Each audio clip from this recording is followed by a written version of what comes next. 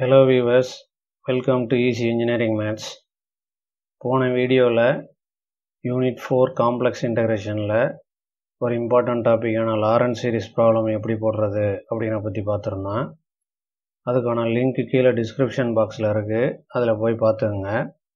அதில் அந்த மூணு ப்ராப்ளமும் ஸ்ட்ராங்காக இருந்தீங்கன்னா இந்த யூனிட்டில் மேக்ஸிமம் நீங்கள் ஒரு எயிட் மார்க் வாங்கிடலாம். சரிங்களா?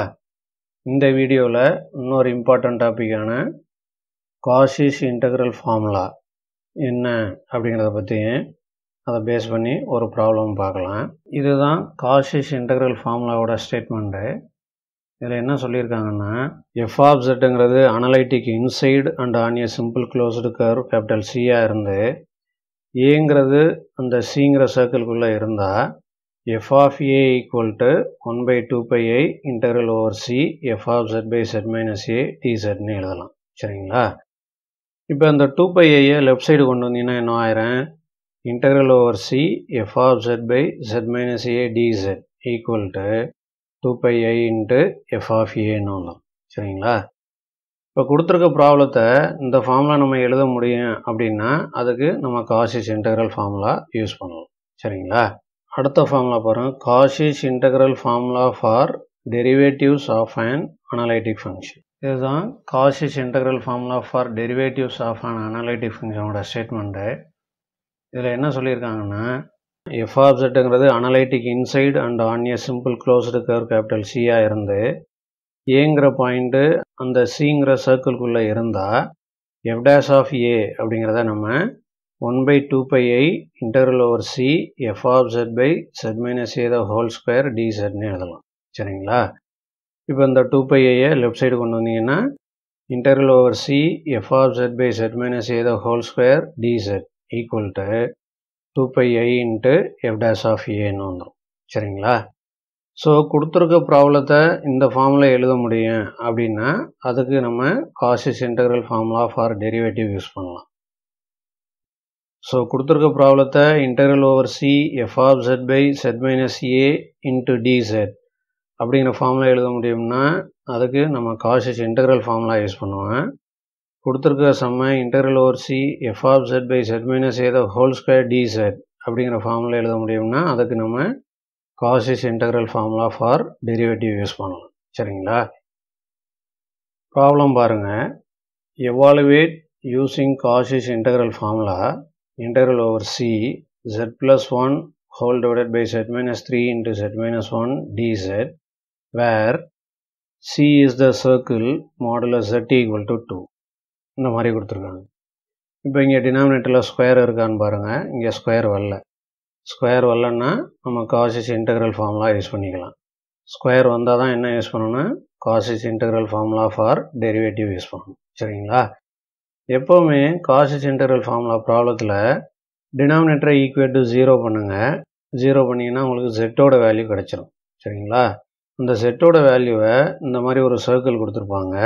அந்த சர்க்கிளில் சப்ஸ்டிட் பண்ணிவிட்டு அது லைஸ் இன்சைடாக அவுட் சைடான்னு பாருங்கள் லைஸ் இன்சைடாக இருந்தால் டினாமினேட்டரில் அப்படியே வச்சுங்க அவுட் சைடாக இருந்தால் அப்படியே நியூமரேட்டர் கொண்டு போயிருங்க. கொண்டு போயிட்டு காஷஸ் இன்டர்வல் ஃபார்ம்லாம் யூஸ் பண்ணிங்கன்னா உங்களுக்கு தேவையான ஆன்சர் கிடச்சிடும் சரிங்களா? இப்போ இங்கே நமக்கு டினாமினேட்டர் என்ன? Z minus three into z minus one so equate to zero பண்ணிங்கன்னா z minus three into z minus one equal to ஜீரோன்னு வந்துடும் சரிங்களா? இதிலேருந்து என்ன சொல்லலாம்? So z minus three equal to zero z minus one equal to zero இப்போ இந்த minus த்ரீயை ரைட் சைடு கொண்டு வாங்க. அப்போ செட் ஈக்குவல் டு த்ரீன்னு வந்துடுறேன் இந்த மைனஸ் ஒன்னை ரைட் சைடு கொண்டு வந்தீங்கன்னா செட் ஈக்குவல் டு ஒன்றுன்னு வந்துடும் சரிங்களா? இப்போ எனக்கு z equal to three z equal to ஒன்றுன்னு ரெண்டு வேல்யூ கிடச்சிருக்கு. சரிங்களா? இப்போ நான் அடுத்து என்ன பண்ண போகிறேன் அந்த ரெண்டு வேல்யூவையும் இந்த சர்க்கிளில் சப்ஸ்டிட் பண்ணிவிட்டு அதை லைஸ் இன்சைடா அவுட் சைடான்னு பார்க்க போகிறேன் சரிங்களா? கிவன் சர்க்கிள் கிவன் சர்க்கிளுங்கிறது என்ன? Modulus z equal to two சரிங்களா? இப்போ அந்த ரெண்டு வேல்யூஸையும் சப்ஸ்டிட் பண்ணி அதை லைஸ் இன்சைடாக அவுட் சைடான்னு பார்ப்போம். When z equal to three இந்த செட்டுக்கு பதில் த்ரீன்னு போடுங்க. அப்போ என்ன வரும்? மாடலஸ் த்ரீன்னு வருமா? மாடலஸ் த்ரீயோட வேல்யூ என்னென்னா த்ரீ தான். சரிங்களா? த்ரீங்கிறது லெஸ் தேன் டூவா கிரேட்டர் தேன் டூவான்னு பாருங்கள் த்ரீங்கிறது greater than two greater than டூன்னா ஏற்கனவே என்ன சொல்லியிருக்கோம்? லைஸ் அவுட் சைடுன்னு சொல்லியிருக்கோமா? Therefore z equal to three lies outside the circle சரிங்களா? இப்போ அடுத்து செட்டுக்கு பதில் ஒன் சப்ஸ்டிட் பண்ணி பாருங்கள் so when z equal to one இதில் செட்டுக்கு ஈக்குவல் ஒன் போட்டிங்கன்னா மாடுலஸ் ஒன்றுன்னு வந்துடும் மாடுலஸ் ஒன்னோட வேல்யூ ஒன்று தான். இப்போ இந்த ஒன்று வந்து லெஸ் தேன் டூவா கிரேட்டர் தேன் டூவான்னு பாருங்கள் ஒன்றுங்கிறது less than two less than டூனா என்னன்னு சொல்லியிருக்கோம்? லைஸ் இன்சைட்னு சொல்லியிருக்கோமா?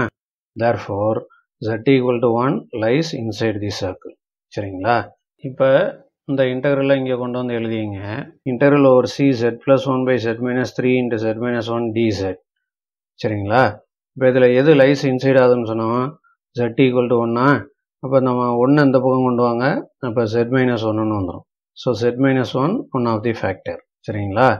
அதனால் இந்த செட் மைனஸ் ஒன்னை மட்டும் டினாமினேட்டரில் வச்சுக்கிட்டு இந்த செட் மைனஸ் த்ரீயை நியூமரேட்டருக்கு கொண்டு போயிருங்க. அப்போ என்ன ஆகும் பாருங்கள் equal to interval over c z plus one divided by z minus three whole divided by z minus one into டிசெட்னு வந்துடும் சரிங்களா? இப்போ நமக்கு இந்த இன்டெக்ரலோட வேல்யூ வேணும். சரிங்களா? இந்த இன்டெக்ரலோட வேல்யூ எப்படி ஃபைண்ட் அவுட் பண்ணுவீங்க? அதுக்கு நம்ம என்ன சொன்னால் காசிஸ் இன்டெக்ரல் ஃபார்முலா யூஸ் பண்ணணும்னு சொன்னோமா? காசிஸ் இன்டெக்ரல் ஃபார்முலாங்கிறது என்ன? Integral over c f of z by z minus a d z equal to two pi a into f of a சரிங்களா? இப்போ இதையும் இதையும் கம்பேர் பண்ணுங்கள் இங்கே எஃப் ஆஃப் செட் இருக்கிற இடத்துல இங்கே z plus one by z minus three இருக்குது அதை இங்கே நோட் பண்ணிக்கோங்க. இங்கே ஏ இருக்கிற இடத்துல ஒன்று இருக்குது நம்ம இதோட வேல்யூ என்னென்னு பார்த்துருக்கோம். Two pi a into f of ஏன்னு பார்த்துருக்கோமா?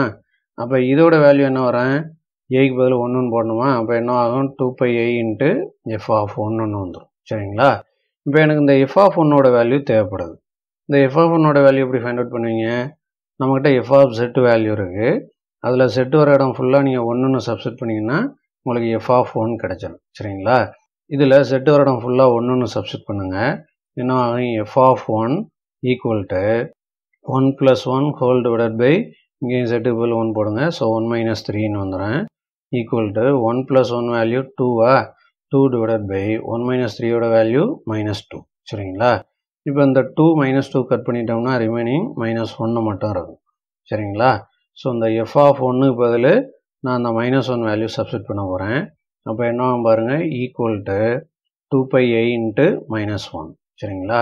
Two pi a into minus one வேல்யூன்னு minus two pi i இதுதான் நமக்கு தேவையான ஆன்சர் தேங்க்யூ